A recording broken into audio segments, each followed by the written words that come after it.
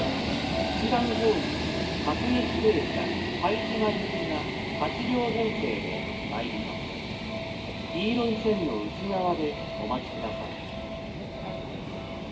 この電車は途中上石神井で有効拝島行きにお乗り継ぎができます